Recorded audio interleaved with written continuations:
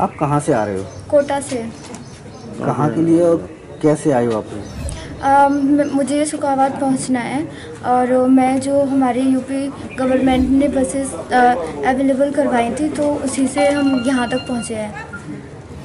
अब आपके यहाँ क्या चेकिंग हो रही है? चेकिंग कुछ हो रही है? हाँ यहाँ पे पहले हम आए तो अ, वहाँ पे आगरा में पहले वहाँ पे हमारी स्क्रीनिंग टेस्ट हुआ था फिर उसके बाद यहाँ पे हुआ है।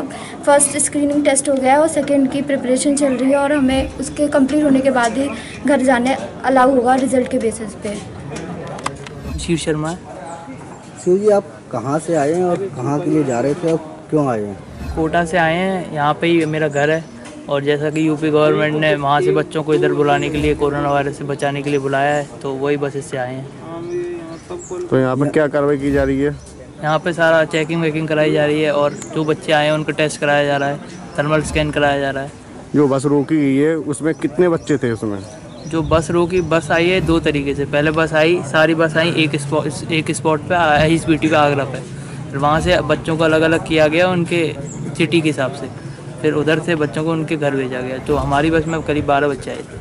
तो वो बारह बच्चे जिला फरोजाबाद की हैं हाँ। जिला फरोजाबाद की हैं। उसमें से लड़कियाँ कितनी हैं? लड़कियाँ चार थी हमारी बस में।